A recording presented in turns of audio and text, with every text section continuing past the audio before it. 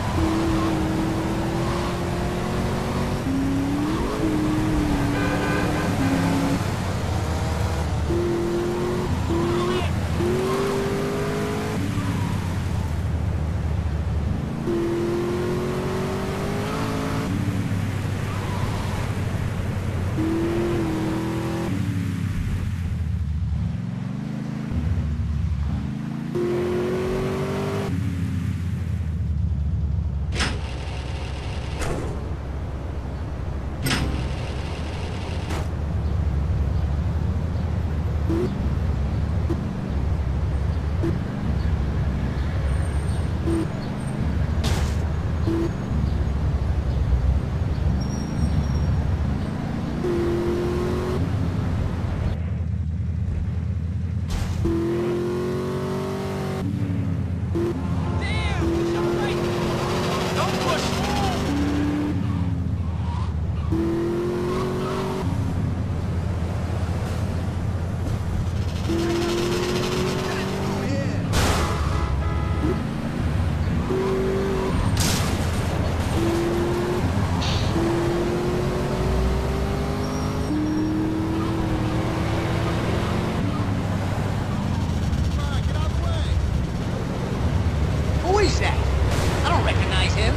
must be a new guy.